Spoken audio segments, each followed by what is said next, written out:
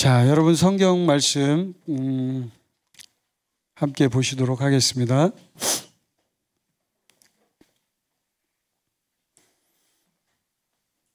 자, 우리 성경 말씀 함께 보시겠습니다. 요한복음 4장을 펴시겠습니다. 요한복음 4장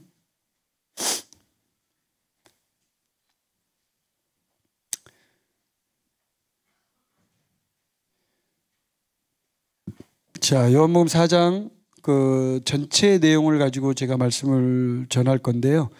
이제 너무 길기 때문에 다 읽지는 못하고 22, 23, 24절 제일 중요한 구절만 우리가 세 구절만 함께 좀 읽도록 하겠습니다. 자, 준비가 되셨으면 우리가 함께 요한복음 4장 22절부터 24절까지 말씀을 함께 우리가 좀 읽었으면 좋겠습니다. 자, 시작. 너희는 알지 못하는 것을 예배하고 우리는 아는 것을 예배하노니 이는 구원이 유대인에게서 남이라. 아버지께 참되게 예배하는 자들은 영과 진리로 예배할 때가 오나니 곧 이때라. 아버지께서는 자기에게 이렇게 예배하는 자들을 찾으시느니라. 하나님은 여기시니 예배하는 자가 영과 진리로 예배할지니라. 아멘. 오늘 저는 이 본문 말씀 요한복음 4장 전체를 가지고 함께 좀 은혜를 나누고자 하는데요. 이 요한복음 4장은 어, 여러분이 잘 아는 사마리아 여인이 나오는 이야기입니다. 예, 너무나 잘 아는 그 성경의 한 스토리입니다. 오늘 저는 이 말씀을 통해서 어, 진짜 예배가 무엇인지에 대해서 진짜 참된 예배가 무엇인지에 대한 그런 그 성경적인 그 이해 혹은 성령께서 우리에게 비춰주시는 빛비춤, 예, 성령이 빛을 비춰줘야 되잖아요. 그런 어떤 빛비춤, 예, 그런 부분에 대해서 여러분과 함께 은혜를 나누려고 합니다. 여러분, 예배는 우리 모든 그리스도인들의 삶의 목적입니다. 그렇죠, 여러분? 예, 예배는 삶의 목적입니다. 예배는 그냥 해도 되고 안 해도 되고 선택을 해서 이렇게 이거는 해도 돼, 요건 안 해도 돼 하는 어떤 그런 선택 사항의 문제가 아닙니다. 여러분 예배는 하나님이 우리에게 원하시는 너무나 지극히 당연한 우리의 삶의 존재의 목적입니다. 예배를 드리지 않는다면 우리는 이 세상에 존재해야 될 이유가 없습니다. 정말 그렇게 믿으시나요, 여러분? 예, 예배를 드리지 않는다면 우리 그리스도인들은 이 땅에 존재할 이유가 없습니다.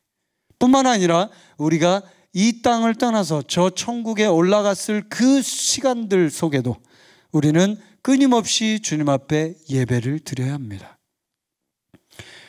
오늘 이 본문 말씀에 보면은 사마리아 여자와 말씀하시는 예수님의 모습이 나옵니다. 예수님은 이 사마리아를 통과해서 고의적으로 이제 가십니다. 갈릴리로 가실 때 거기를 통과해서 가셨어요. 그 사마리아에 수가라는 도시가 있었습니다. 작은 도시예요. 이 수가라는 동네에 주님이 가십니다. 거기서 그 야곱의 우물이 있는데 그 우물가에 예수님이 이제 접근을 하게 되죠.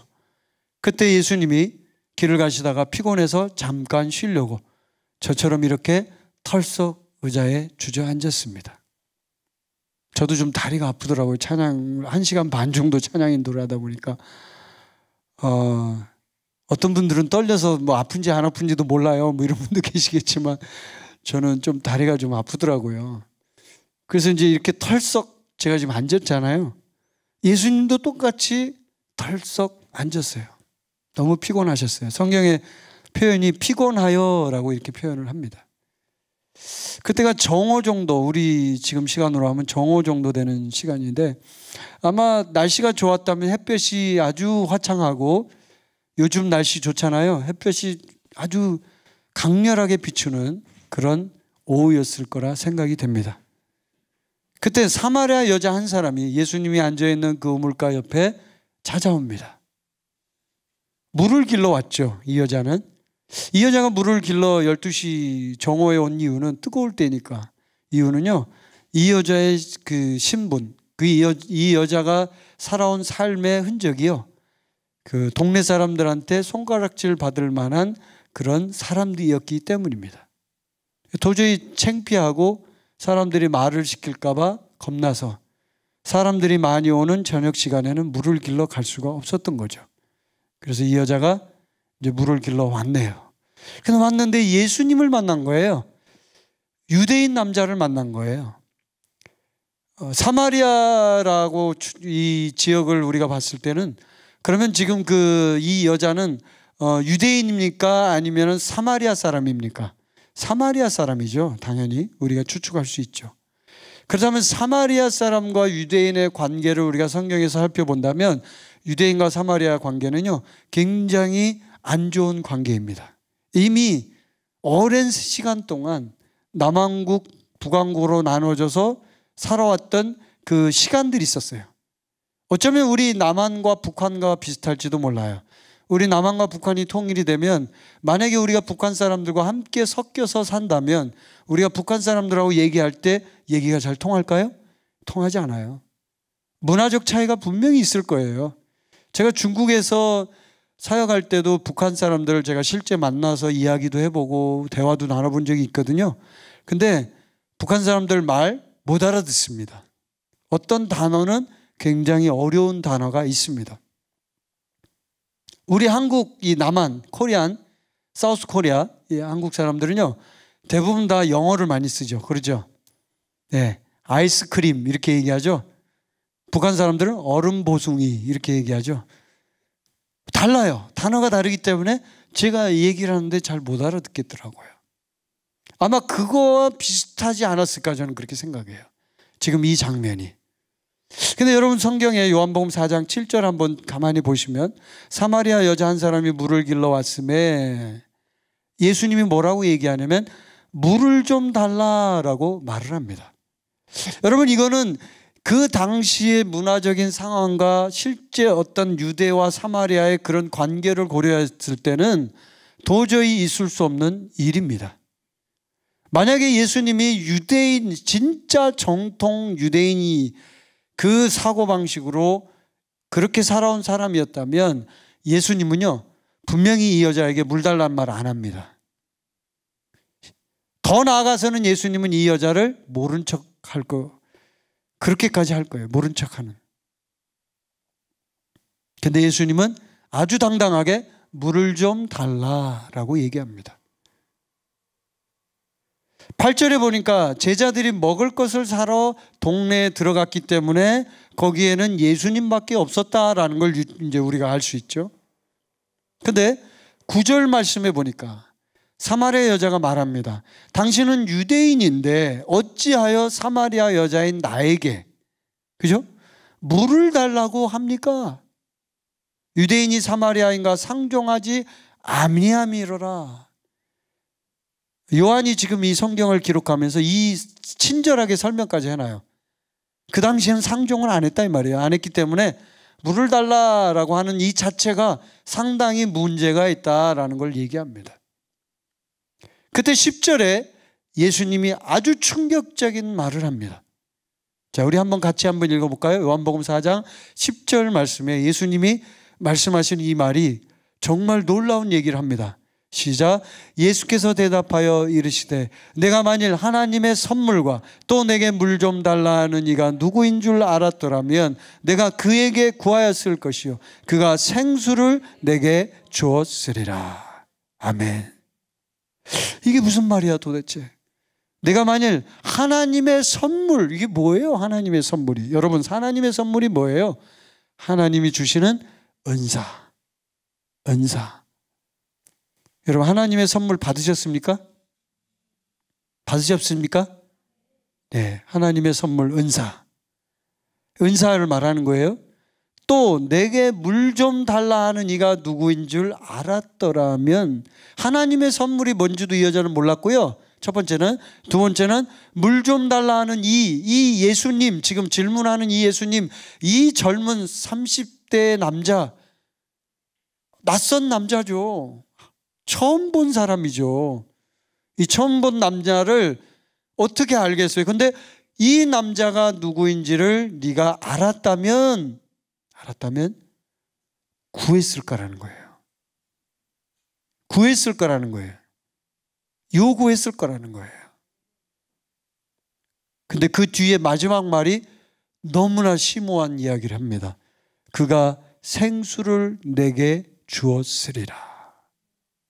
이게 무슨 얘기야 도대체? 왜 갑자기 선물 내기라고 왜 갑자기 내가 누군지 알아맞혀봐 하는 이런 수수께끼 같은 얘기를 하면서 예수님 얘기를 들어보면요. 우리는 어쩌면 꼭 세상에서 말하는 뭐 산은 산이요 물은 물이요 하는 것 같은 그런 느낌이 들어요. 그렇죠? 이거 세상 사람들이 이 얘기 들으면요. 예수님 이 사람 정상인이 아니다 이렇게 얘기할 거예요. 근데 우리는 이 얘기를 들을 때 우리 안에서 우리의 영이 꿈틀거리잖아요. 아멘? 꿈틀거리잖아요. 이 얘기를 때문에. 생수라는 말만 들어도 living water 생수 이 얘기만 들어도 우리의 생명이 막 꿈틀대잖아요. 꿈틀대잖아요.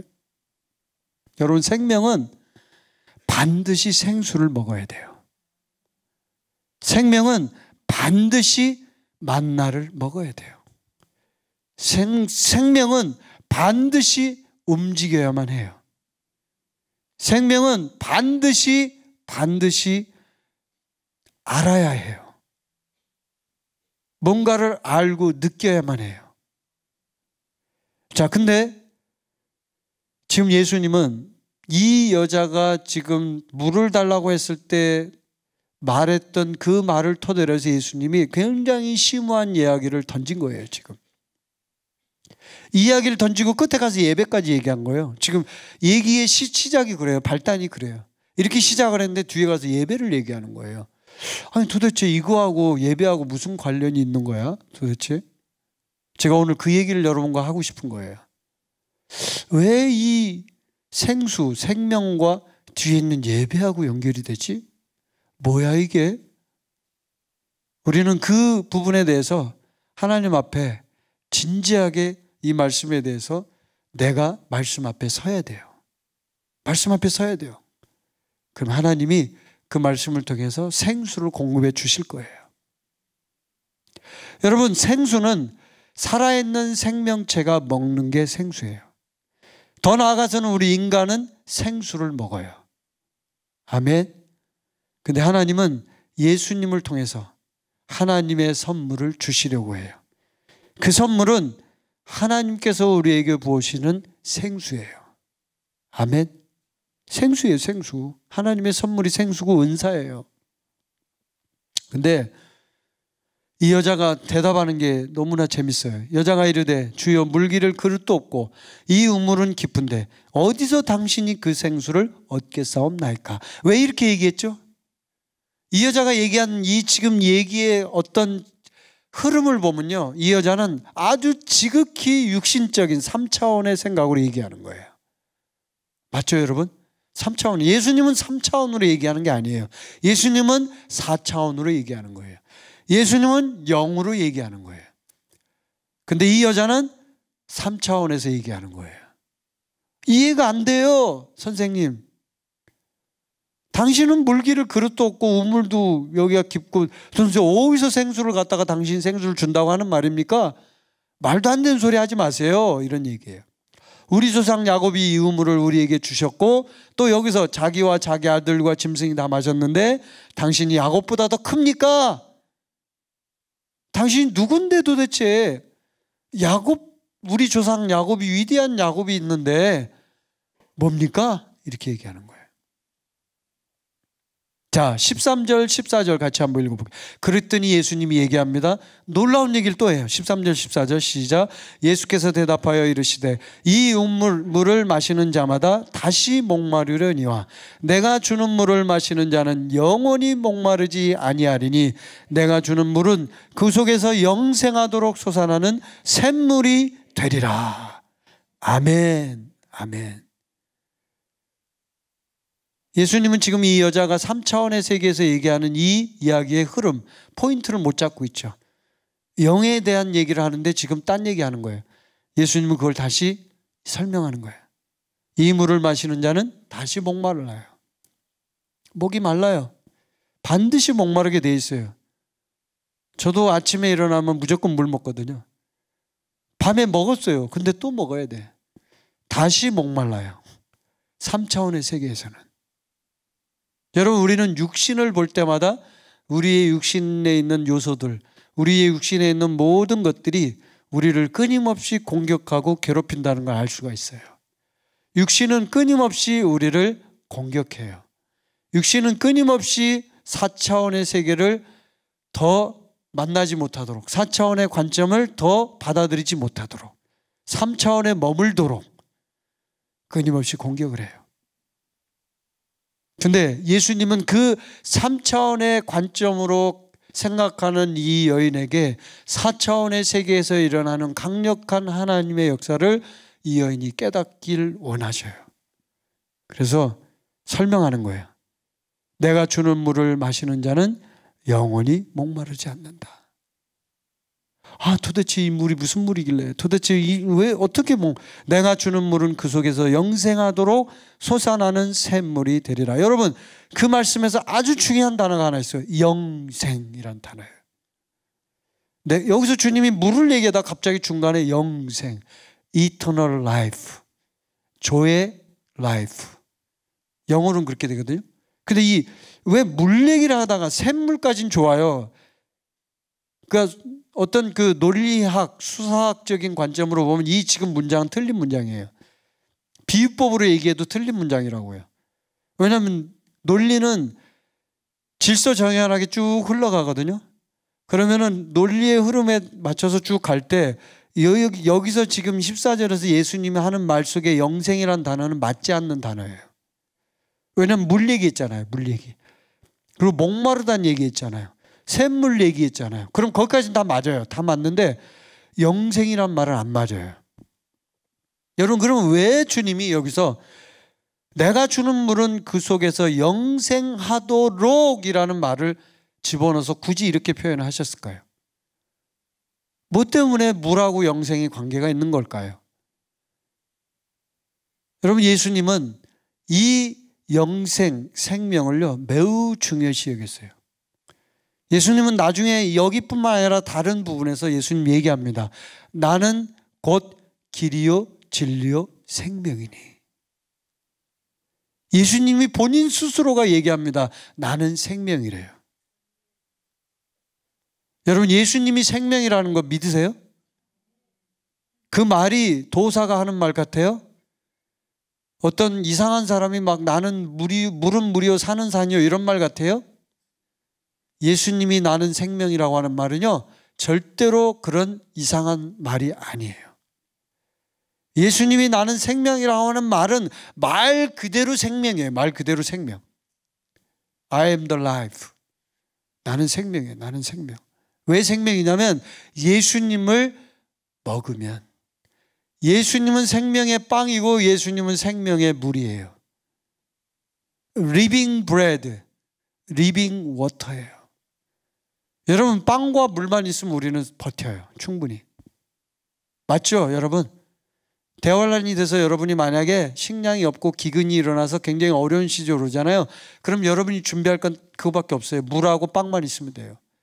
물하고 빵만 있으면 여러분 계속 있을 수 있어요. 목숨이 부지될 수 있다고요. 마찬가지입니다. 영적인 생명도 그 생명의 빵과 생명의 물만 있으면 영적 생명은 공급이 되는 거예요. 이해되시죠? 자, 그러면 여러분, 이 생명은 얼마나 중요하냐면, 얼마나 중요하냐면, 이 생명이 탄생하고, 이 생명이 존재하고, 이 생명이 살아가는 모든 것들이 다 예수 그리스도께서 이 땅에 오신 목적이었어요. 왜 예수님이 이 땅에 오셨을까요? 예수님이 이 땅에 오신 이유는 사람들을 구원해서 그들에게 생명을 주려고요. 다 알죠. 여러분이 다 알고 있어요.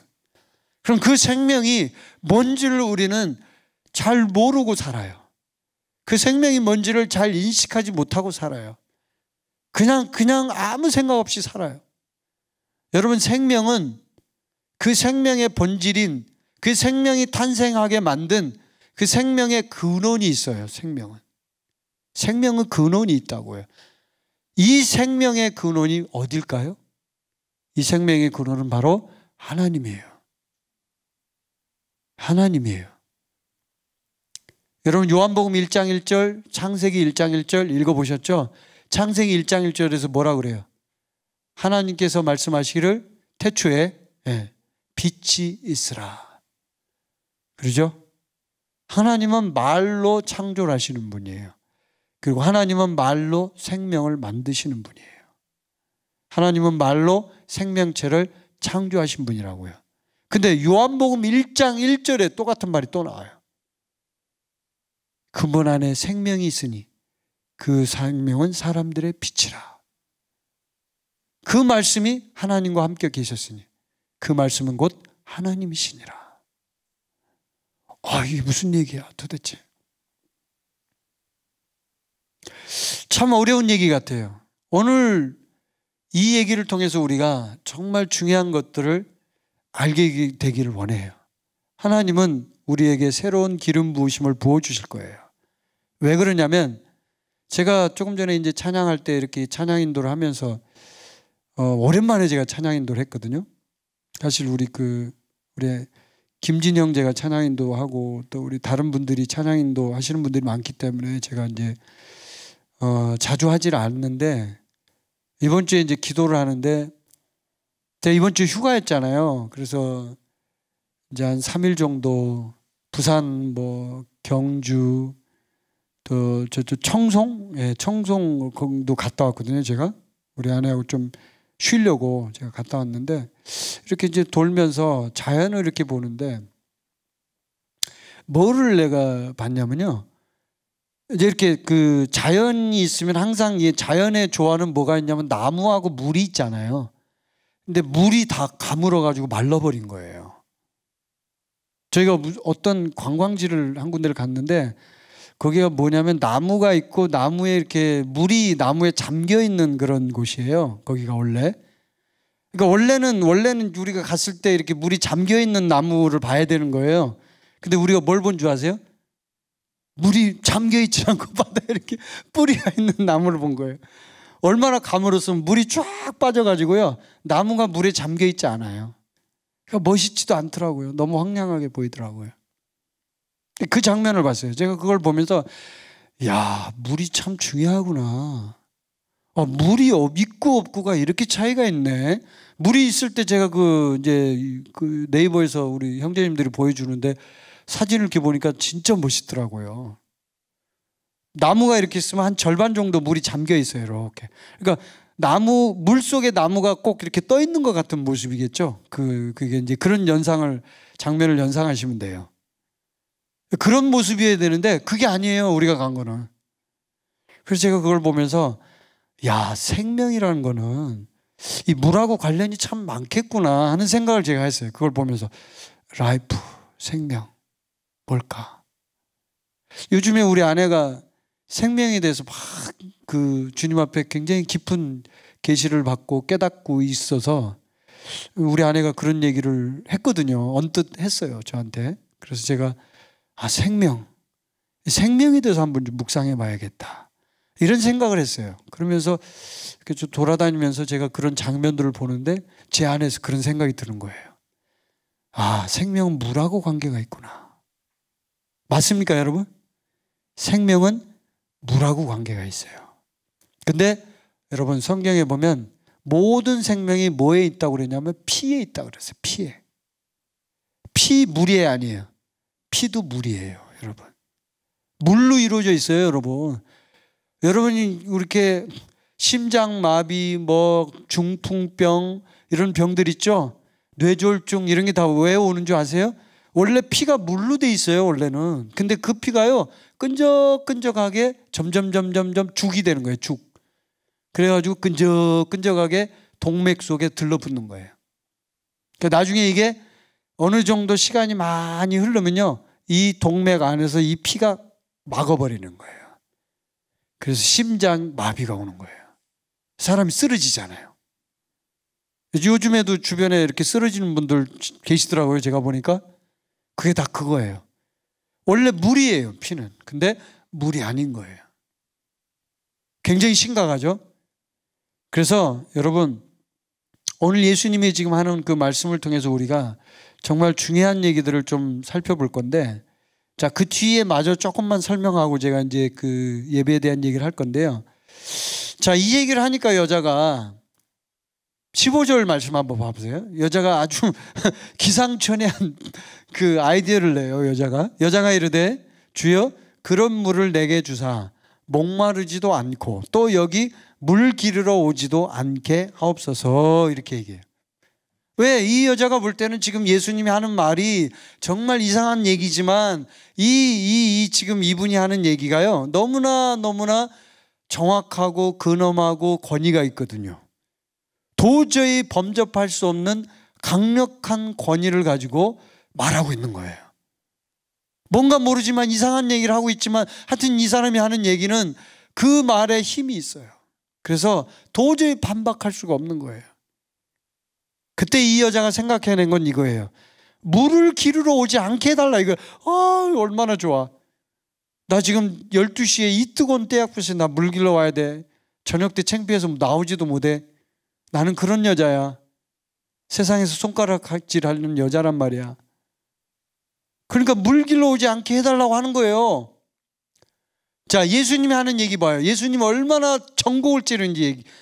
16절에 이르시되 가서 네 남편을 불러오라. 아니 물 기르러 오는 얘기를 하는데 왜 갑자기 남편 얘기를 해요? 무슨 관계가 있다고? 관계가 있어요 없어요 여러분? 관계가 있죠. 이 여자가 한 얘기 안에 예수님은 그 내포된 의미를 예수님은 분명히 알고 있었거든요. 뭐요? 두려움과 부끄러움. 우리는 인생을 살면서 두려움과 부끄러움의 노예로 살아요. 우리는 이 두려움과 부끄러움이라는 강력한 적에게 포위돼서 살아요. 우리가 만약에 두려움과 부끄러움을 내려놓을 수만 있다면 우리는 엄청나게 강력한 영적 성장을 이룰 거예요. 그런데 두려움과 부끄러움이 우리를 사로잡아요. 지금 이 순간도 그래요. 이 설교를 듣고 있는 여기 있는 지금 모든 캠퍼스에 있는 청중 우리 형제 자매들 또 그 밖에 온라인으로 예배드리는 모든 분들 다 똑같아요. 다 두려움과 부끄러움의 노예가 되어 있어요. 다른 사람이 나에게 뭐라고 얘기할까? 아, 내가 이렇게 옷을 입고 나가면 얼마나 부끄러울까? 아, 창피하다.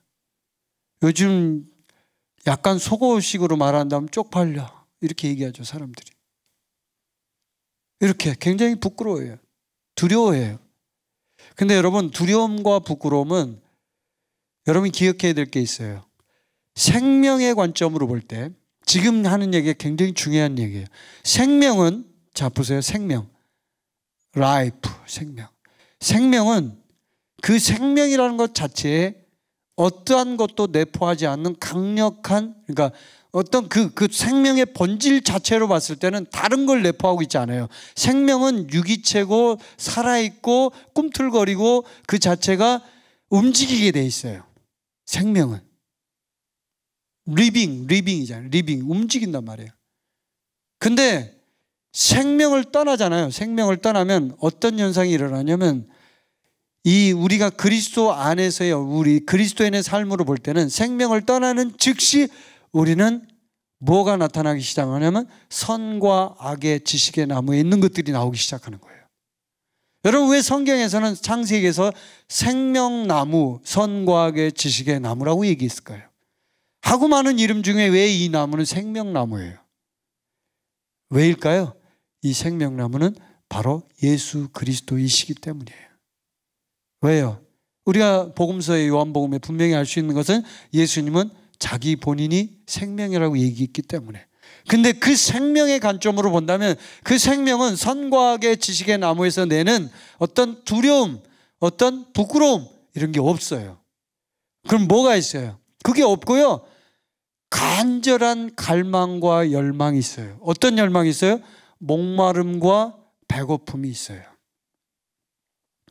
여러분 생명은 반드시 목마르고 반드시 배고프게 돼 있어요.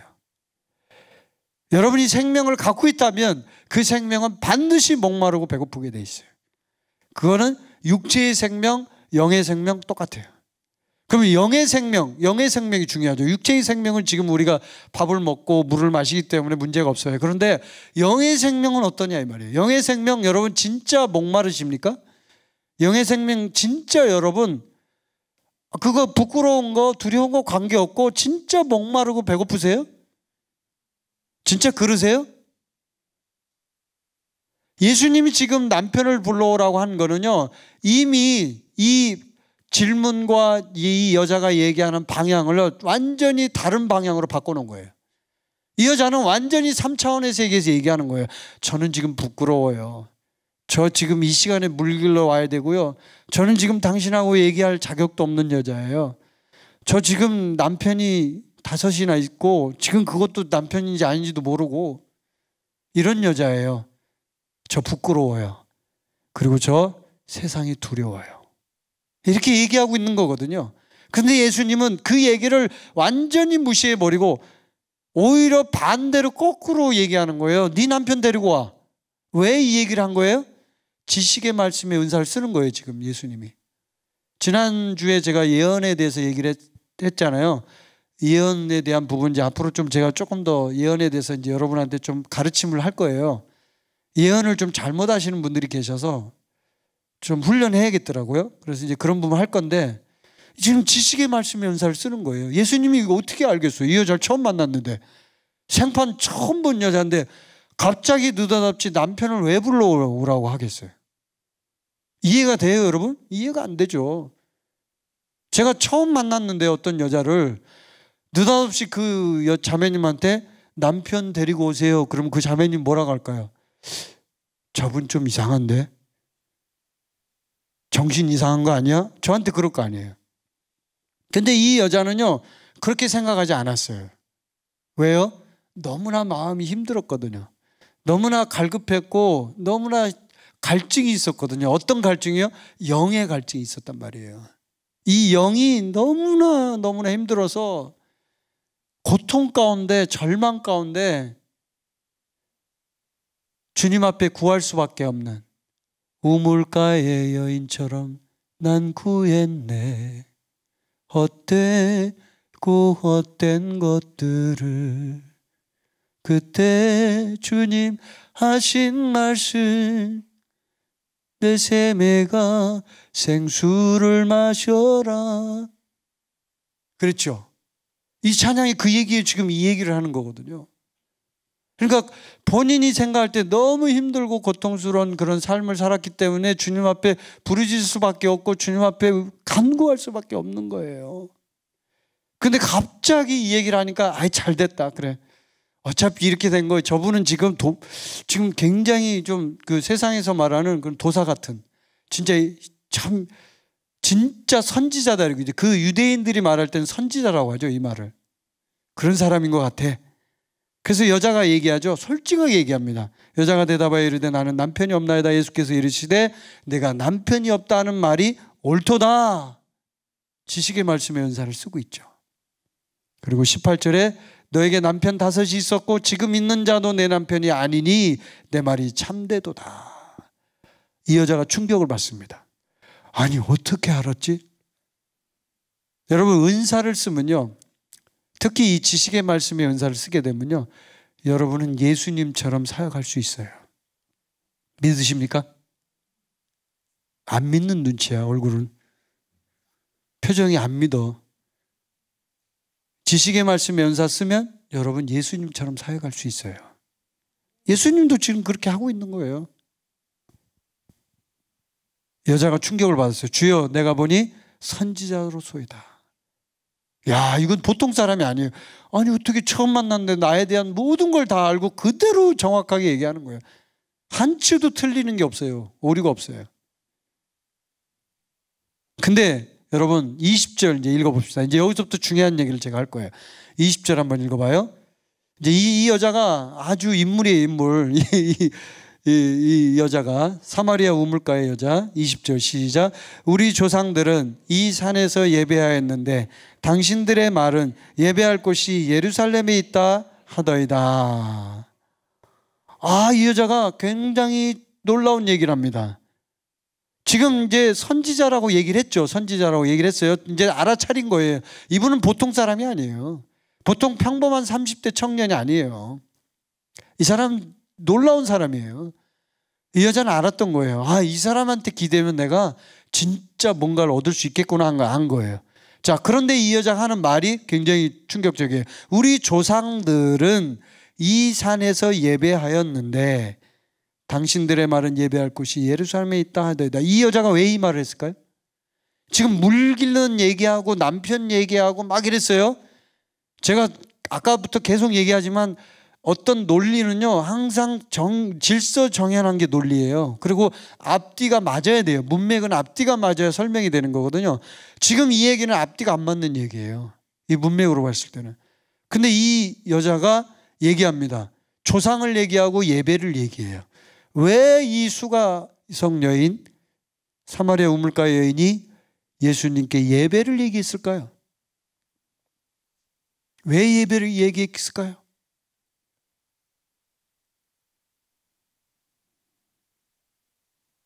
아무도 대답을 하시지 않는군요. 고의적으로 대답을 안 하시는군요. 이 사마리아 여자가 예배를 얘기한 건요.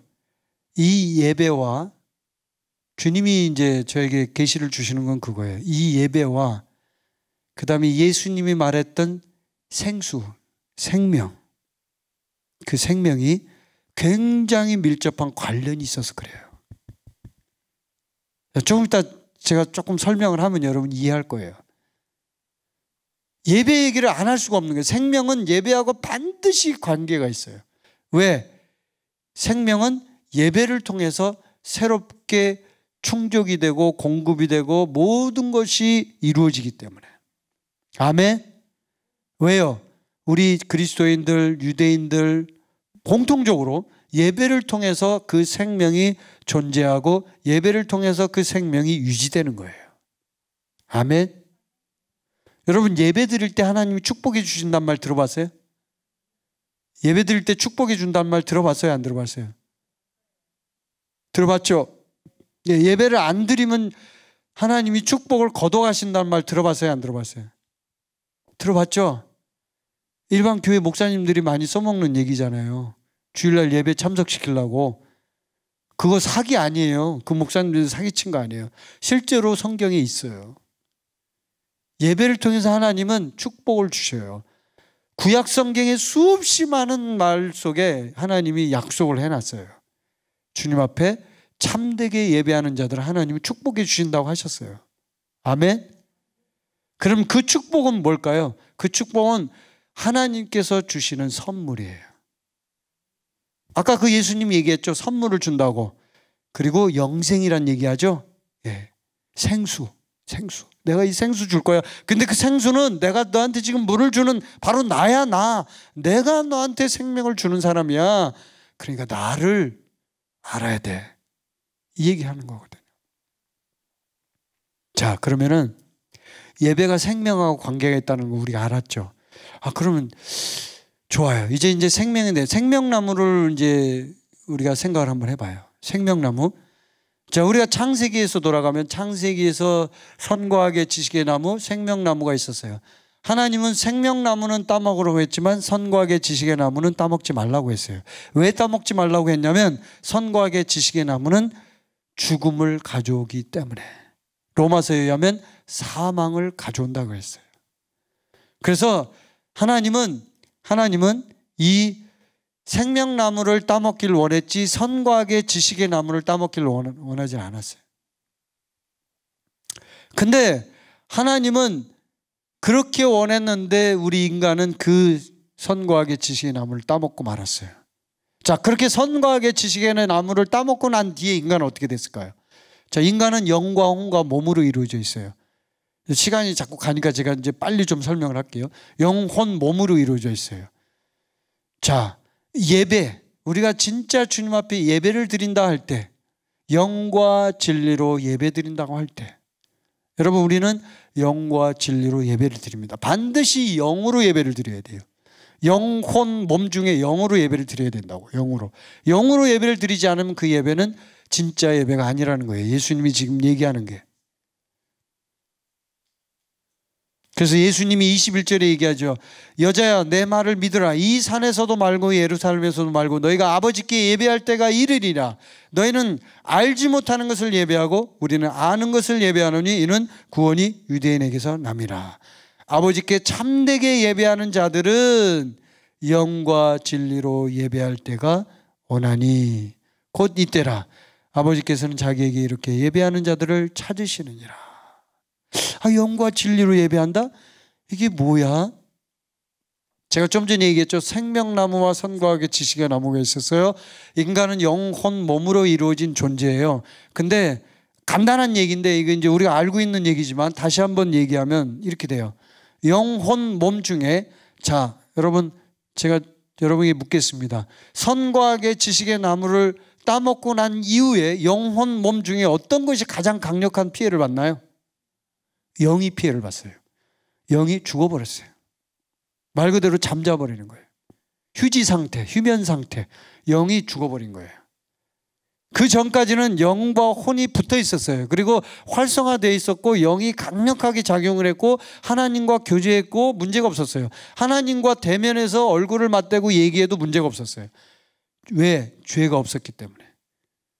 근데 선과학의 지식의 나무를 따먹는 순간 인간은 영이 죽어버리면서 선과학의 지식의 나무에 있는 그 죄가 악. 선과학의 지식의 나무는 어떻게 보면 악이에요, 악. 선이라는 거는 선과 악이라고 표현했을 뿐이지 그거는 인간이 말하는 어떤 분별, 인간이 말하는 이성 이런 것들을 놓고 봤을 때 그렇게 이해하는 거지 선과 악의 지식이 나오면 결국은 악이에요, 악. 악죄라고요. 그리고 그 선과 악의 지식의 나무를 따먹는 순간 영이 죽어버리는 거예요. 그러니까 혼하고 몸이 남았겠죠. 그러죠. 그럼 혼이 어떻게 됐을까요? 혼은 아주 이성적인 상태로 바뀌어버리는 거예요. 그러니까 아주 논리적이고 이성적인 상태로 바뀐다니까요. 그래서 혼 자체가 할 수 있는 건 뭐냐면 분별, 말은 분별이죠. 그게 전부 다, 다 뭐냐면 판단이에요, 판단. 아, 이건 틀려, 저건 틀려, 뭐. 그래서 율법을 만들어야만 했고, 하나님이 그것을 통해서 사람들에게 구체적인 방법을 알려줘야만 했고 사람들이 그걸 통해서 실제로 실천을 할 수 있도록 지침을 줘야만 했던 거예요. 근데 여러분 굉장히 중요한 게 있어요. 왜 하나님이 영과 진리로 예배를 하냐 하라고 하냐고요. 왜 하필이면 영으로 예배를 하라고 하냐고. 혼으로 예배하면 안 돼요? 혼으로? 영으로 예배해야 돼요. 혼으로 예배하는 건요, 이미 그 혼 속에 지정의 우리 인간이 갖고 있는 어떤 그런 생각들, 이성적인 사고, 저처럼 논리적인 사고를 좋아하는 사람들, 이성적인 사고는요, 끊임없이 3차원의 세계에서 일어나는 일들을 끊임없이 설명하고 그것을 알아야 하는 거예요. 그걸 이해하려고만 하는 거예요. 근데 생명은 어때요? 생명은 이해하는 게 아니라 생명은 그 자체로 존재 자체로 생명은 꿈틀거리고 살아있다는 거예요. 생명은 논리가 통하질 않아요. 아멘이십니까? 생명은 논리가 통하질 않아요, 여러분. 어떻게 애가 태어났는데 그 애를 보면서 너는 지금 몇 살이고 너는 몇 년 동안 살 거니까 너는 내가 지금 양육비를 얼마 동안 부어야 되고 너를 양육비를 이만큼 부어야 되니까 너가 지금 나중에 어? 그 양육비를 다 갚어. 그럼 이거 얼마야? 뭐 하면서 쭉 엄마가 만약에 계산기 두드리고 있다고 생각해 보세요. 그게 엄마예요? 엄마 아니죠. 진짜 생명이라는 관점에서 본다면 엄마는요, 자식을 아무런 대가 없이 오직 사랑하기만 하면 되는 거예요. 거기에 논리가 있어요? 너는 나쁜 놈이니까 너는 내 자식 아니야. 너는 인간의 도리가 안 하고 있어 하면서 이렇게 하면서 얘를 쫓아낼 만큼 그렇게 무지막지한 부모입니까? 그럼 그건 생명이 아니에요, 이미. 여러분, 생명이란 건 논리가 없어요. 생명은 그저 존재하는 그 자체로 뭘 원해요? 생명을 존재케 하신 그분을 원하는 거예요. 아멘. 그래서 이 여자가 예배를 얘기한 거예요, 예배를. 지금 굉장히 힘든 상황이에요. 우물가의 여인처럼 난 구했네. 이렇게. 그렇게, 그렇게 헛되고 헛된 걸 구하다가 남자도 다섯 명 만나고 지금 있는 남자도 남편도 아니고 그렇게 살았는데 그렇게 힘든 인생을 살았는데 이 사람이 하는 얘기를 들어보니까 아, 이제 진짜 신을 만나야겠구나 하는 걸 느끼는 거예요. 여러분, 그래서 인간은 누구나 생명의 관점으로 들어가면요, 예배를 갈망하게 돼 있어요. 아멘. 예배를 막 속에서 이게 꿈틀거려요. 주님, 제가 주님 앞에 예배를 드리고자 합니다. 성령으로 여러분이 충만할 때 여러분 예배 가고 싶어요? 안 가고 싶어요? 가고 싶죠. 성령 충만이 약, 약, 약이 좀 약 기운이 떨어지면 가기가 싫어져요. 그러니까 여기 지금 사람들이 안 오잖아요. 온라인으로 예배를 드리잖아요. 온라인으로. 귀찮다 이거야. 그전에는 그렇게 해서 콕 가가지고 그냥 정말 멀어도 그렇게 길을 쓰고 가서 예배를 드리는데 생명이 이제 점점 점점 점점 생명이 어떻게 되냐면요. 성령이 주시는 생명이기 때문에 여러분 로마서 8장에 보면 생명의 성령의 법이라는 말이 나와요. 들어보셨죠? 왜? 근데 왜 하필이면 성령이 생명의 성령이냐고요. 그게 중요해요. 성령님은 생명 주는 영이에요. 아멘.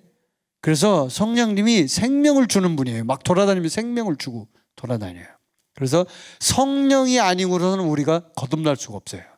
성령이 아니고서는 우리가 이 삶을 살 수가 없어요. 아시겠죠?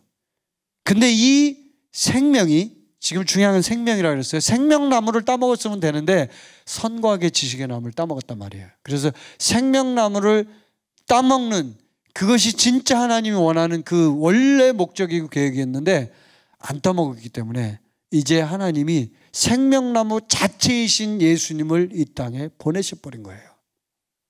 할렐루야.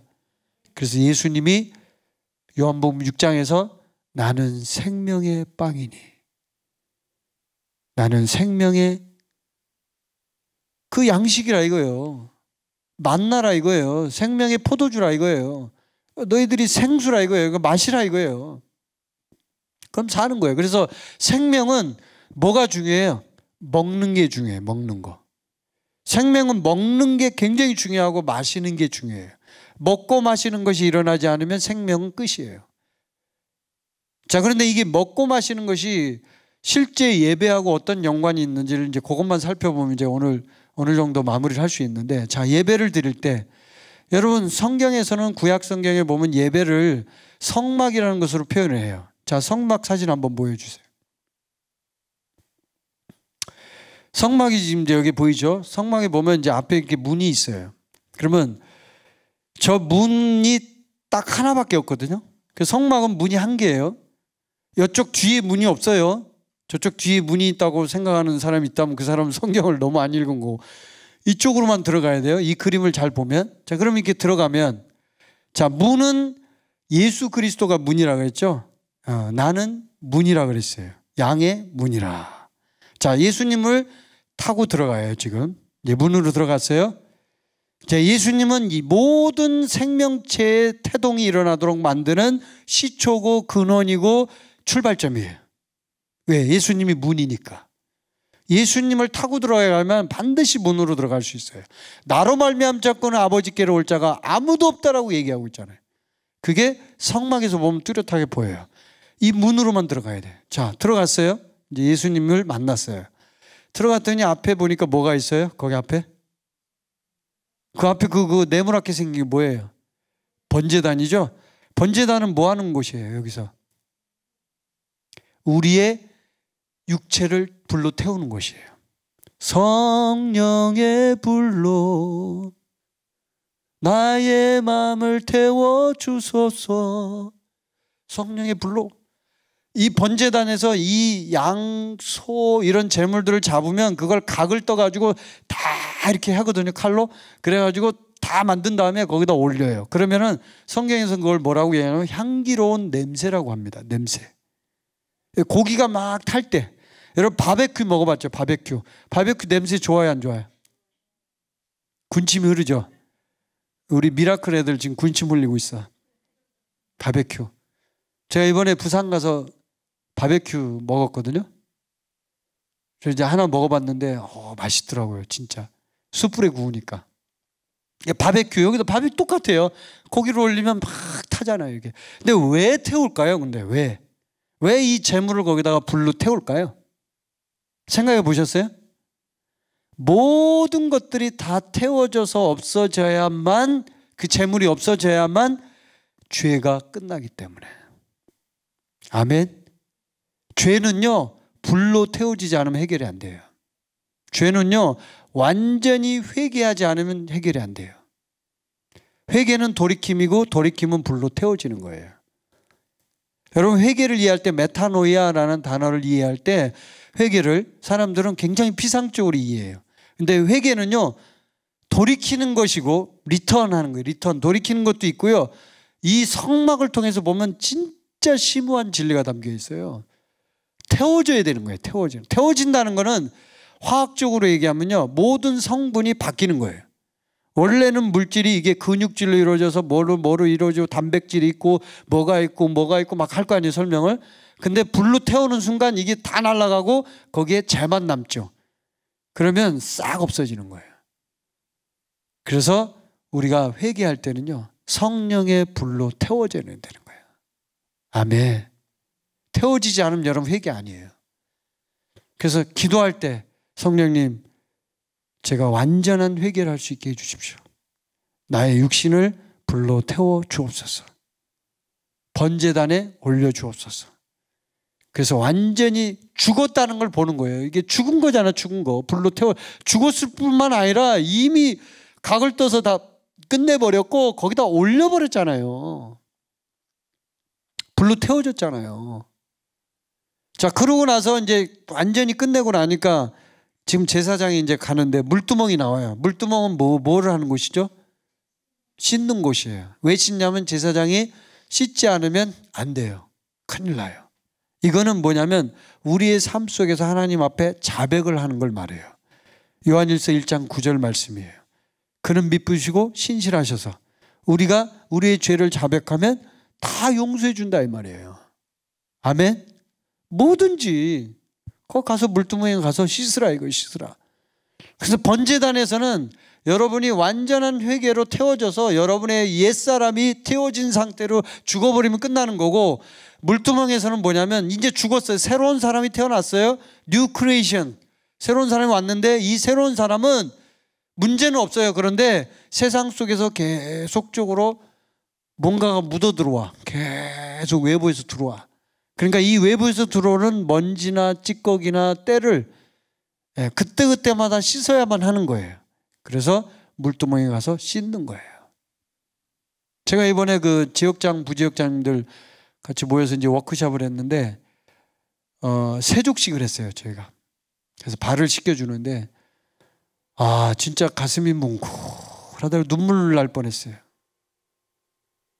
뭉클해요. 우리 자매님들도 막 울고 그러더라고요. 저희 아내가 자매들 이렇게 발 씻겨주고 제가 이제 형제님들 발을 씻겨줬거든요. 내 마음이 뭉클해요. 왜 그럴까? 그냥 발 씻는 건데 아무것도 아닌데 왜 이렇게 마음이 뭉클할까? 이게 보니까 생명의 관점으로 봤을 때는 이게 굉장히 의미가 있는 거예요. 왜 그러냐면 내가 지금 그 물두멍에서 제사장이 씻는 것처럼 내가 지금 이들을 섬기면서 예수님이 했던 걸 그대로 하는 거잖아요. 그대로. 실천하는 거잖아요. 예수님도 그걸 한 거예요. 베드로한테 얘기했잖아요. 베드로가 막 목욕시켜 달라고 베드로는 하여튼 오바를 잘해요. 오바를. 목욕시켜 달래 막. 그러니까 예수님 이미 씻은 사람은 할 필요가 없어. 발만 씻으면 돼. 딱 이제 얘기하잖아요. 그게 세족식이거든요. 발 씻는 거거든요. 그래서 아, 그 그림이 없어졌네. 자, 그럼 이제 이 물두멍이 이제 씻고, 그 다음에 이제 그 뒤에 보면 뭐가 있어요? 뭐예요, 그게? 성소, 지성소. 자, 그럼 이걸 이제 간단하게 설명할게요. 지금 바깥에 뜰이 있고, 물두멍과 번제단이 있는 곳을 뜰이라 그래요. 그리고 저기 건물로 천막을 쳐서 예쁘게 그림이 있고, 막 그룹이 있고, 저 뒤쪽에는 한데, 그걸 성소, 지성소라고 얘기해요. 자, 이거를 우리가 영혼 몸으로 얘기하면 정확하게 일치해요. 뜰은 육체예요, 육체. 육체. 자, 혼은 어딜까요? 성소. 지성소는 영. 자, 그러면 성소에 뭐가 있어요? 성소에 진설병이 있죠. 진설병. 예, 빵, 빵을 이렇게 진열해 놓는 거, 진설병 있죠. 예. 그러면 그 진설병을 뭘 말하냐면 우리의 혼의 영역에서 말할 때는 의지를 말하는 거예요. 의지. 왜냐하면 빵을 먹고 막 힘을 내고 자기가 이렇게 해가지고 자기 의지를 발동해서 자기가 나 해야 돼. 해야지. 선택해야지 하는 모든 의지. will. 예. will이라는 단어를 쓰잖아요. 영어에서 will. 이 will이 전부 다 뭐냐면 진설병 안에 들어있어요. 거기서 세상에서 갖고 있는 모든 것들이 전부 거기에 녹아 있기 때문에 거기서 생명의 빵으로 다시 바꿔줘야 되는 거예요. 그러니까 진설병은 어떻게 보면 예수님의 생명의 빵이에요. 그게. 근데 혼의 영역으로 보면 성소가 혼이라 그랬잖아요. 혼의 영역으로 보면 그 혼이 그 진설병이 자기의 자유의지를 나타내거든요. 의지를 나타낸다고요. 근데 의지가 생명의 빵으로 완전히 뒤집어져 가지고 이제 그 의지를 생명의 빵으로 넘겨주는 그런 상태가 되면요. 어떻게 되냐면 내 의지가 없어져 버려요. 그리고 예수님이 나의 의지가 되버리는 거예요. 예수님이 나의 의지예요. 내, 의, 내 의지가 없어. 내가 선택할 그게 없어. 여러분 군, 군사훈련에서 배웠잖아요. 영적으로 성장하면 성장할수록 그 사람은 어떻게 돼요? 자기 의지가 없어져요. 자기가 뭘 하고 싶다, 뭘 요걸 선택하고 싶다, 여기 가고 싶다, 이게 없어요. 예요. 이제는 예수의 의지가 나의 의지가 되었으니까. 왜? 진설병이 그런 거예요. 근데 그 진설병이 구약 시대에는 실제로 육체적으로 그렇게 했어야만 하고 이스라엘 백성들은 아직 성령으로 역사하는 걸 모르기 때문에 그렇게 해야 되잖아요. 진설병을 먹고 먹어야 되는 거예요. 근데 지금 신약 시대에 와서 우리는 예수님은 뭐라고 얘기해요? 나는 생명의 빵이니라고 얘기하잖아요. 생명의 빵이라는 거예요. 너희들이 나를 먹으면 영원토록 산다 이거예요. 아멘. 안 죽는다 이거예요. 안 죽는다. 나를 먹어라 이거예요. 그리고 뭐가 있어요? 촛대가 있죠. 촛대. 예, 촛대. 촛대는 우리의 그 지정의에서 지성적인 측면을 말하는 거예요. 지, 지, 지식, 지식. 불을 비춰주면 보이잖아요. 알게 되잖아요. 껌껌한데 불이 확 들어오면 빛을 비춰주잖아요. 네. 그리고 금향단이 있죠. 이제 향, 향로가 있죠. 향로. 네. 향로는 우리의 감정이에요. 감정, 감정. 지정의에서 지정이 세 개밖에 없잖아요. 여러분이 잘 알잖아요. 우리 혼의 안에 들어있는 거예요. 감정이. 감정은 향기로운 냄새로 주님 앞에 올려지는데 이 감정은 굉장히 기복이 심하죠. 연기가 올라가면서 막 춤을 추면서 올라가잖아요. 근데 이게 실제로 이제 하나님 나라에서 우리가 신약 시대에 와서는 이게 뭐냐면 전부 다 바뀌는 거예요. 지정의가 어떻게 바뀌냐면 하나님께서 주시는 성령의 감정으로 바뀌는 거예요. 그리고 성령의 지식으로 바뀌는 거예요. 성령이 주시는 spirit, spirit, Holy Spirit, 성령의 지식 그걸로 바뀌는 거예요. 그게 성소예요. 자, 지성소에 들어가니까 이제 거기는 이제 끝났고 지성소에 들어가니까 뭐가 있어요? 그룹이 있죠. 그리고 시은좌가 있고 거기에 법궤가 있어요. 예. 옛날에는 아론의 쌍난 지팡이와 그게 있었죠. 예. 만나가 있었죠. 만나 항아리. 그게 있었는데 이게 나중에 여러분이 성경을 잘 보시면 아시지만 솔로몬 성전 때는 그게 두 개가 없어집니다. 그리고 법궤만 남아요. 만나하고 이 지팡이가 없어진다고요. 성막에는 있었어요. 그게 세 가지가. 법궤까지. 근데 이제 나중에는 솔로몬 성전 때는 없어져요. 왜 그러냐면 그거는 그 당시에 이스라엘 백성에게 하나님이 주신 모세와 아론에게 주신 거잖아요. 근데 이제 솔로몬 성전에서 안착을 했기 때문에 이제는 성령님이 관장해서 성령만 있으면 되는 거예요, 이제. 예. 이 법계는 성령이에요, 성령. 그리고 말씀이에요. 안에 뭐가 들어있어요, 법계 안에, 여러분? 십계명 돌판이 들어있죠. 성경을 안 읽으셨나? 그렇게 자신감이 없어. 다들. 거기 돌판 있잖아요. 십계명 돌판. 그게 그 뭐예요? 뭘 말해요? 하나님의 말씀을 말하는 거죠. 그러니까 말씀과 성령은 항상 같이 붙어 있어요. 근데 이게 요즘에 와서 이 현대 기독교 안에서 성령과 말씀이 분리되면서부터 문제가 일어나기 시작하는 거예요. 성령과 말씀은 절대로 분리되지 않아요. 성막만 공부해봐도 이렇게 간단한 공부를 해도요 금방 할 수 있잖아요. 왜 하필이면 성령의 임재가 내려오는 시온좌 쉐키나의 영광이 내려오는 그룹이 거기에 있고 성령이 임재하시고 하나님이 임재하시는 그 공간에 사람이 거기 들어가면 죽는다니까요. 대제사장이 잘못 들어갔다 큰일 나요. 그래서 줄을 땡기잖아요. 이렇게 줄을 달고 들어가잖아요.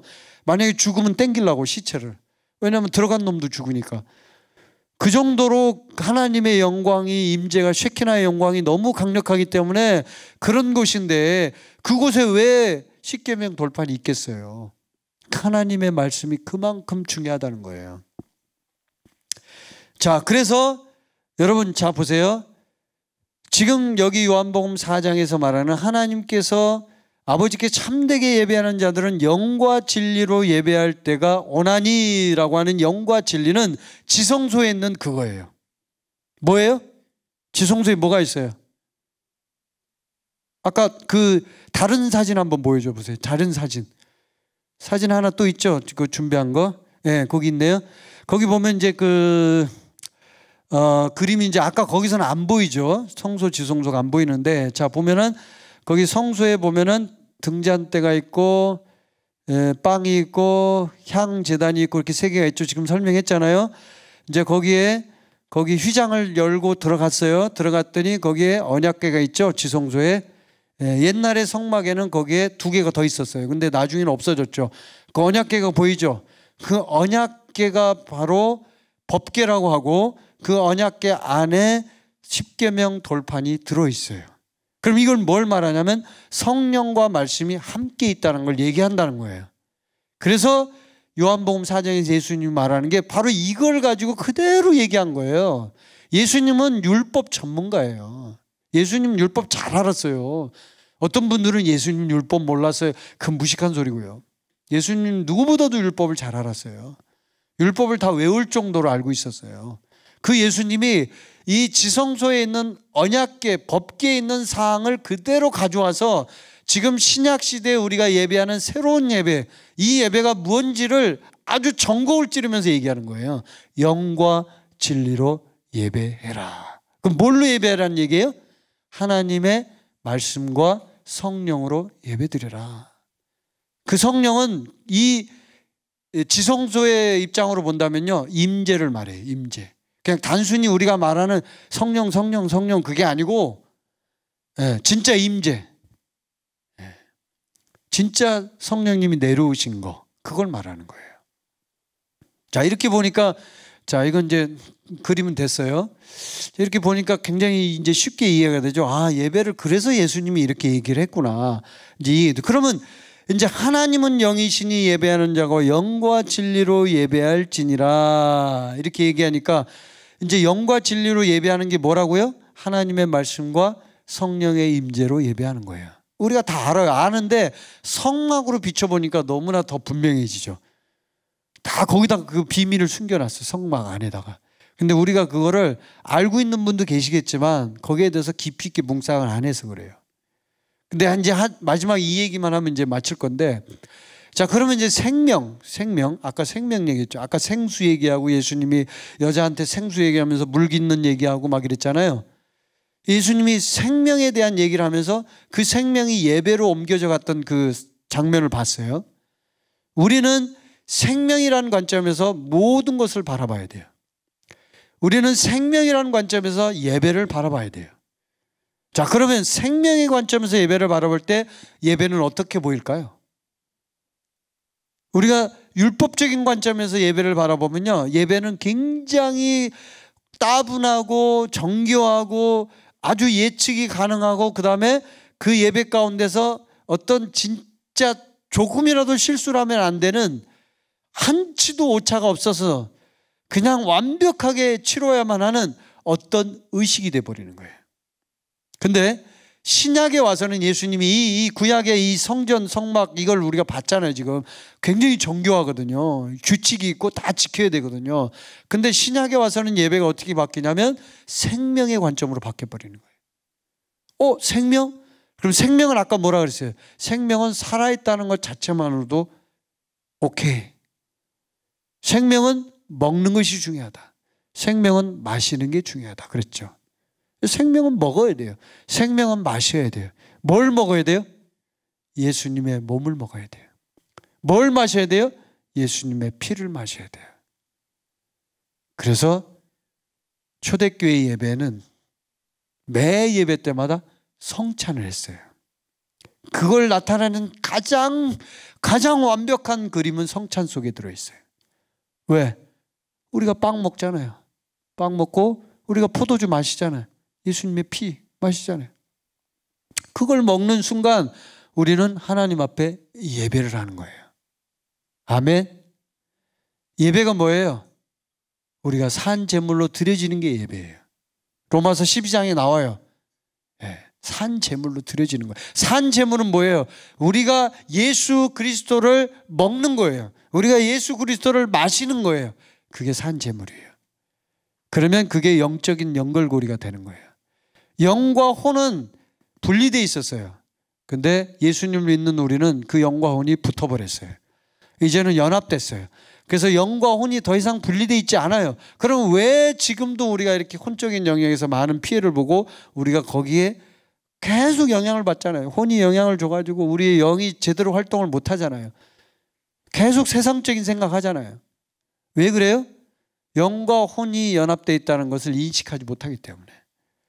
그 인식의 연결고리는 어디에 들어있냐면 생명이 들어있어요. 예배에 들어있어요.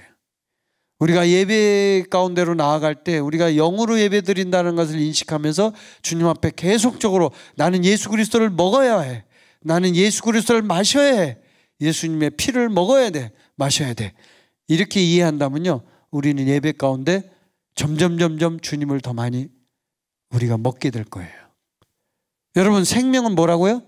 생명은 그 자체로 놓고 보면 뭘 알고 뭘 느끼고 이런 차원보다는 가장 중요한 게 원초적인 게 중요한 게 뭐냐면 먹는 거예요. 아멘. 먹어야 된다고 그랬잖아요. 먹어야 산다고. 안 먹으면 생명은 죽어요. 아무리 하버드 대학을 나오고 머리가 IQ가 200이고 아인슈타인보다 더 똑똑한 사람도요. 안 먹으면 죽어요. 왜요? 생명이기 때문에. 생명은 이론이 아니고 논리가 아니고 설명이 아니에요. 생명은 먹어야 하는 거예요. 아멘. 오늘 여러분 모두가 그 생명 대신 예수 그리스도를 누리시길 바랍니다. 그 생명을 먹게 되길 바랍니다. 그 생명이 여러분 안에 진짜 양식이 되어서 진짜 여러분의 예수 그리스도의 보혈이 여러분의 생수가 되어서 여러분이 그걸 마시게 되길 바랍니다. 그래야만 여러분이 살아요. 아멘. 아, 진짜 그래야 살아요. 그러지 않으면 여러분 죽어요.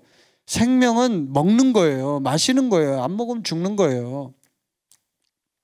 그리고 운동해야 돼요. 더 나아가서는. 근데 가장 기초적인 건 먹는 거 마시는 거예요. 그래서 예수님이 이렇게 얘기한 거예요. 저는 오늘 이 메시지를 통해서 아주 간단하게 지금 이 예배에 대한 부분과 생명에 대한 부분을 설명해 드렸어요. 성막도 간단하게 설명해 드렸어요. 성막은 사실 이렇게 설명하면 너무 간단하지만 사실은 제가 중요한 것만 얘기해 드린 거예요. 더 깊이 있게 얘기하면 많은 것들을 우리가 또 배울 수 있어요. 그러나 그게 중요한 게 아니죠. 우리는 진짜 이 예배가 무엇인지를 인식하고 주님 앞에 나가야 돼요. 그리고 예배는요, 영적 전쟁의 또 하나의 무기예요. 제가 지난 시간에 예언이 무기라 그랬죠? 예배도 무기예요. 여러분이 예배하면서 주님 앞에 나아가면 사탄 마귀는 꼼짝 못해요. 아멘? 여러분 힘들어요? 그럼 예배하세요. 여러분 너무나 죽을 만큼 괴로워요? 예배 드리세요. 주님, 제가 생명 걸고 목숨 걸고 예배 드리겠습니다. 주님 저에게 역사하여 주옵소서. 제가 이 문제 다 해결되게 해 주옵소서.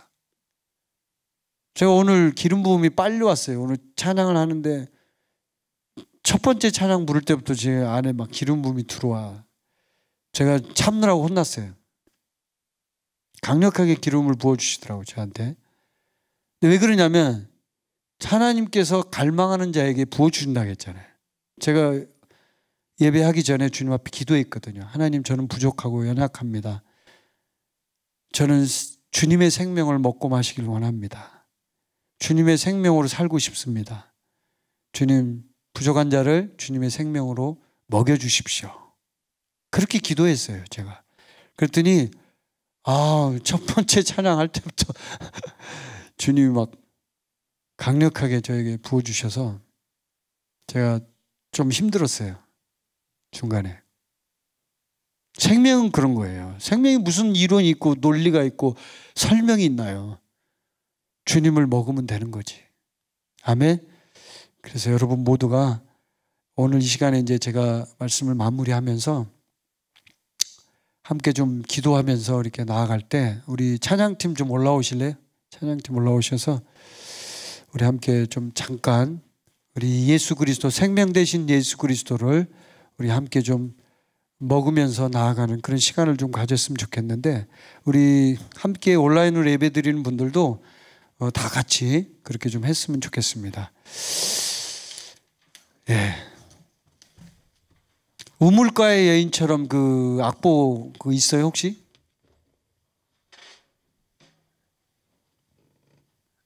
그 저기 가사 가사 악보라네 가사 있어요? 우물가의 여인처럼? 예, 예. 그럼 우물가의 여인처럼 우리 함께 좀 찬양할 때 우리 조명을 조금 어둡게 중간에 해주시고 여러분 이제 주님 앞에 이제 나아갈 때 음, 이렇게 찬양을 이제 부르고 나서 여러분이 주님 앞에 이제 기도를 하는데요. 중요한 거는 저만 은혜 받는 게 아니라 여러분도 은혜를 받고 여러분도 생명을 느껴야 되잖아요. 저는 그걸 원해요. 예배는 쇼가 아니에요, 여러분. 예배는 쇼가 아니라고요. 예배는 주님 앞에 드리는 거예요. 아까 말씀드렸잖아요. 생명은 예배를 갈망하게 돼 있어요. 그러면 예배를 올려드리는 거예요. 예배를 올려드릴 때 자동 반사되는 게 뭐가 있냐면 하나님은 그 예배를 받으시고 흠양하시고 쉐키나의 영광을 내려보내 주시는 거예요. 임재, 바로 임재. 그래서 우리가 그 우물가의 여인 그 이야기를 지금 오늘 나눴잖아요. 예. 그 우물가의 여인처럼 되지 말아야죠, 우리가. 진짜 주님의 그 생명을 우리가 마시고 누리고 먹어야죠. 아멘. 예, 우리 함께 이 찬양하면서 주님 앞에 나갑시다.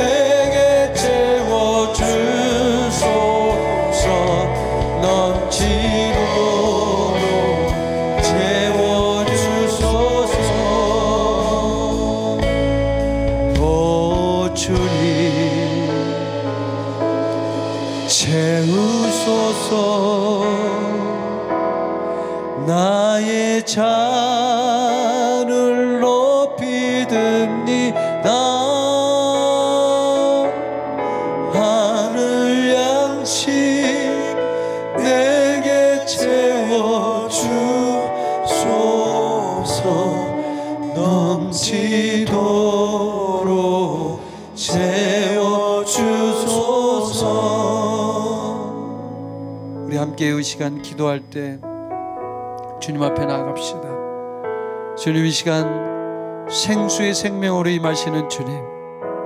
제가 주님을 먹고 마시기를 원합니다. 생명수 대신 예수 그리스도시 제가 그 생수를 먹기를 원합니다. 내가 나의 잔을 높이 올려드립니다. 주님 나의 잔에 생수를 부어 주시옵소서. 예수 그리스도의 생명의 빵을 부어 주시옵소서. 이 시간 저에게 새롭게 기름 부어 주셔서 이제는 이론과 지식이 아니라 내가 예수 그리스도를 생명으로 먹고 마실 수 있도록 주님 이 시간 저에게 역사하여 주옵소서. 우리 주의 한번 부르고 주님 앞에 기도하며 나갑시다. 주여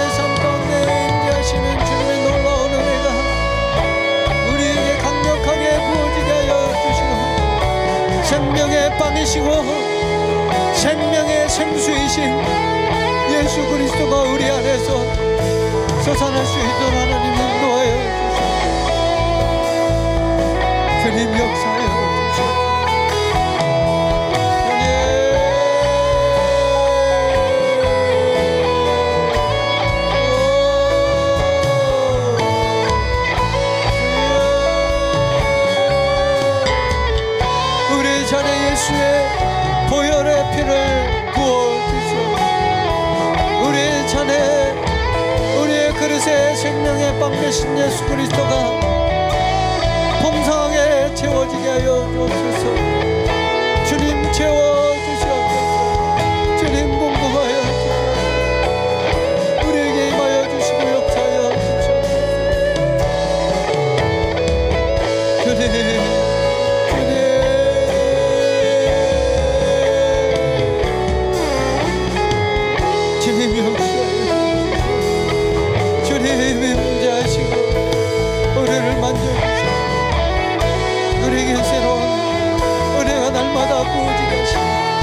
날마다 생명의 빵을 먹게 하여 날마다 날마다 양식이 공급되게 하여 날마다 날마다 그 은혜가 공급되어서 하나님의 은혜로 충만하게 역사하게 하여 주시옵소서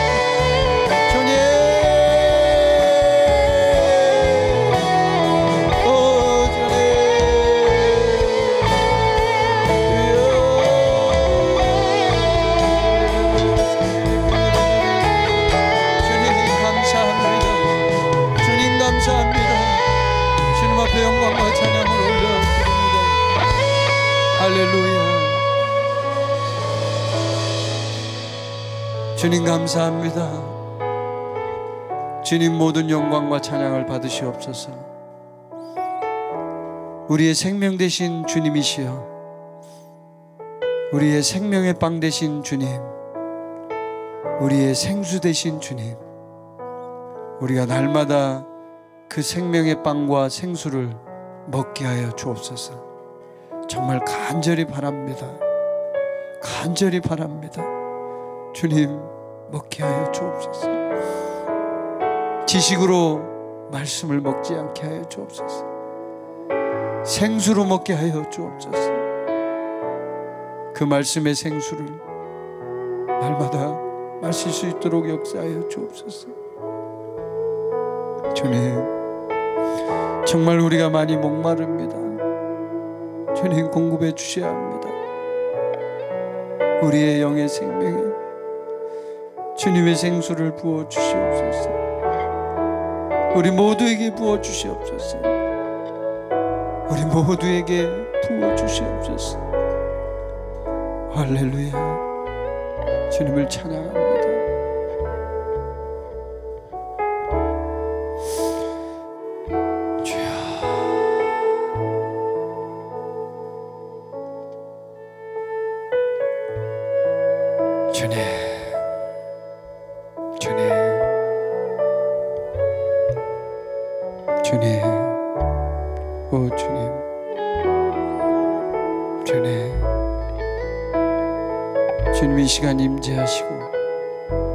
우리에게 바람처럼 불처럼 생수처럼 임하시는 성령 하나님 우리 가운데 임재하심을 찬양합니다. 한 사람 한 사람 만져 주시옵소서. 운행하여 주시옵소서. 생수처럼 임하시는 성령님 이 시간 운행하여 주옵소서. 생수처럼 임하시는 성령님 이 시간 생수로 임하여 주옵소서 함께 기도하는 모든 지체들에게 동일하게 역사하여 주옵소서. 불처럼 임하시는 성령님 우리 육신을 번제단의 불처럼 태워 주시옵소서.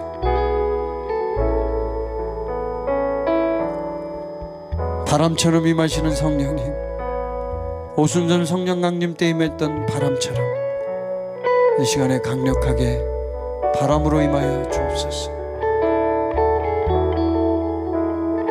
성령님 역사해 주옵소서. 성령님 찬찬하게 우리에게 임하여 주시는 성령님 찬찬하게 임하여 주시는 성령님 주님 감사합니다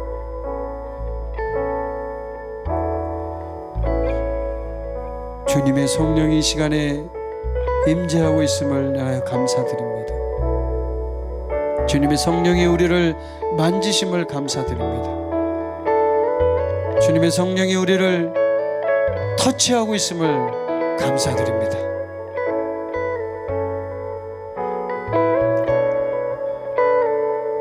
여러분의 손을 여러분의 가슴에 얹어 보십시오. 성령님 이 시간 성령의 불로 우리에게 임하여 주옵소서. 성령의 불로 임하여 주옵소서. 모든 손을 얹은 그 손을 성령님 보시고 성령의 불로 임하여 주옵소서. 모든 은사들로 임하여 주옵소서. 모든 성령의 열매 강력하게 그 안에서 계속적으로 열매 맺게 하여 주옵소서.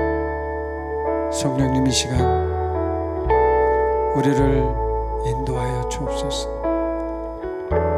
우리의 찬양과 경배를 받으시는 주님. 우리의 찬양과 경배를 받으시는 성령님. 감사와 찬양을 주님께 올려드립니다.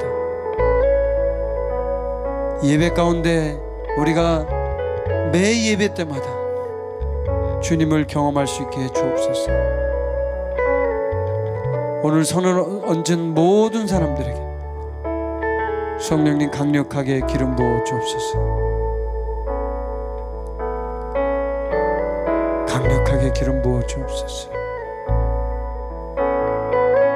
강력하게 기름 부어 주옵소서. 이내라 캐시니 이렇게 말하는 스키니 스키니 니 캐시니 이렇게 라바라는 스키니 캐시니 이렇게 말하는 스키 니 니 제로 이렇게 말하는 스키니 괴미는 스키니 니 캐시니 말에 가말하는 스키니 우리 함께 방언으로 기도하도록 하겠습니다. 이렇게 말하는 스키니 말하는 스키니 괴미는 이렇게 말하는 스키니 이렇게 말하는 스키니 말하는 캐시니 이렇게 말하는 스키니 이렇게 말하는 스키니 말하는 스키니 이렇게 말하는 스키니 우리는 스키니 말하는 Yervere seni bana kamala reskini kılmale reskini kılmale Levelelep kalelevel çilerik ebelelevel çilerik kalelevel çilerik ebelelevel çilerik Yerveli kemele belele çilerik kemele belele sime belele çilerik Bile belele çilerik kemele belele çilerik şurere kemele çilerik belele belele çilerik Lele belele çilerik lele belele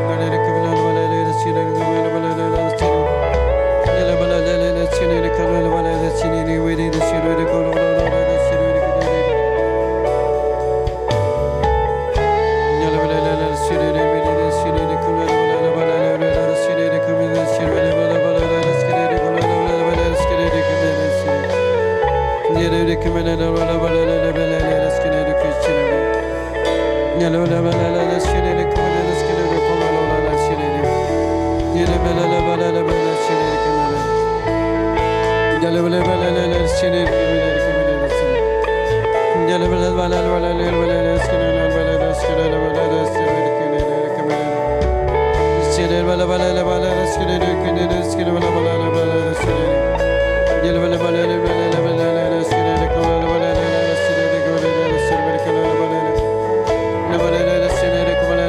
le seni le seni bele bele bele le seni le kene le seni. Le bele le bele le seni le kene le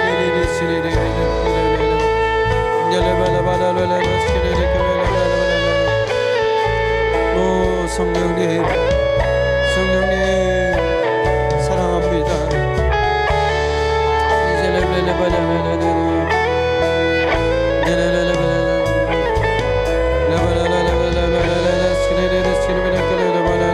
Aşkine get it.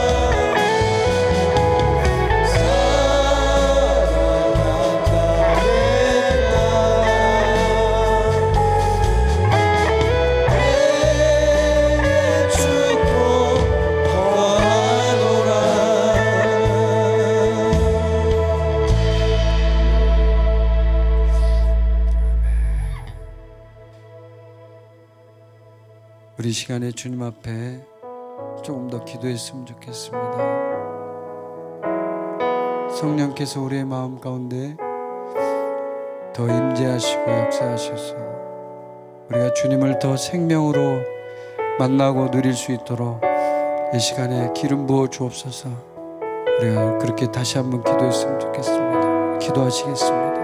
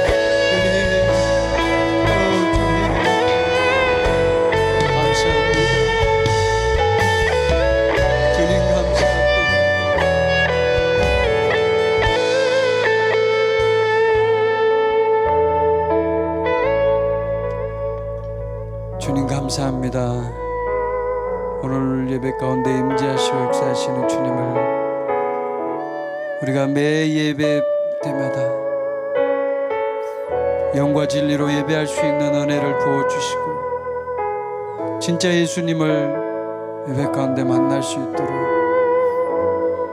우리를 새롭게 인도하여 주옵소서. 이 마지막 때에 주님 앞에 준비된 군사로 주님 앞에 설 수 있도록 하나님 역사해 주옵소서. 주님 감사합니다. 예수님의 이름으로 감사하며 기도합니다. 아멘.